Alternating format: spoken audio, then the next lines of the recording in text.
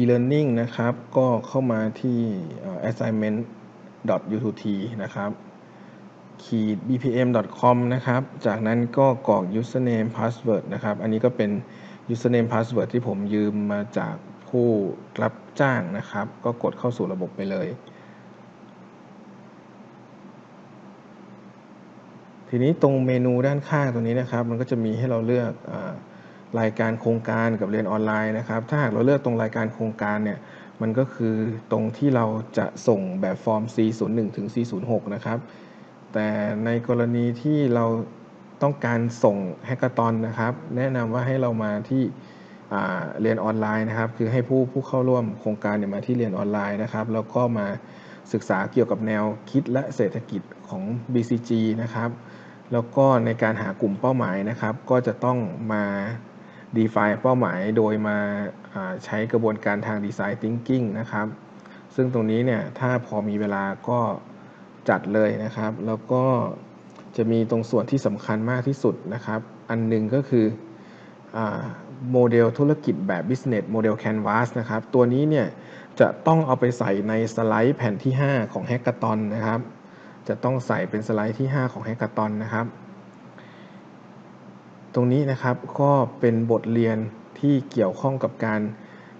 ทำแผนธุรกิจแบบ BMC นะครับ ตรงนี้สำคัญมาก เพราะว่าถ้าหากไม่ทำตามนี้เนี่ย การเข้าแฮกเกอร์ตอนเนี่ยก็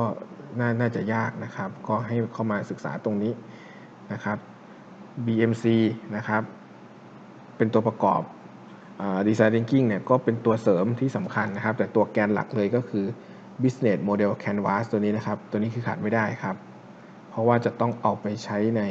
5 สไลด์ของ Hackathon นะครับนี่นะครับอันนี้ก็คือตรงที่เราจะต้องใส่ในแฮกเกอร์ตอนนะครับก็จะมีเนี่ยเรื่องของคุณค่าผลิตภัณฑ์นะครับ แล้วก็ business model นะครับ ตัวคุณค่าของผลิตภัณฑ์นะครับเขาก็จะได้จากตรงนี้นะครับ value proposition นะครับ แล้วก็ตัวแผนธุรกิจนะครับ ก็คือสไลด์ที่ 5 ก็จะต้องได้จากตรงนี้นะครับ ทีนี้ถ้าเราสงสัยว่า business model canvas หรือว่าตัวแผนธุรกิจนะครับ แบบย่อๆเนี่ยหน้าตาเป็นยังไงนะครับ เราก็เข้า Google นะครับ แล้วก็ search คำว่า business model canvas นะครับ จากนั้นนะครับก็ไปดูนะครับที่ลิงก์แรกตรงนี้ได้เลยนะครับ ตรงนี้ก็จะเป็นบทความนะครับที่ อธิบายเกี่ยวกับการเขียนแผนธุรกิจแบบ BMC นะครับสั้นๆ ทุกคนก็สามารถศึกษาจากตรงนี้ได้นะครับนี่นะครับก็จะมี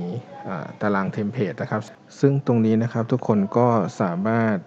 เอา template นะครับหรือว่ารูปแบบตารางตัวนี้เอาคัดลอกลงบนกระดาษนะครับ หรือว่า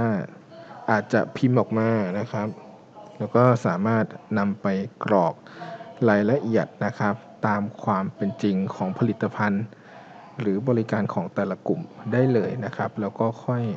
เอาไปจัดพิมพ์ให้สวยงาม เพื่อที่จะใส่ในตัวแบบฟอร์ม C2 ต่อไปนะครับ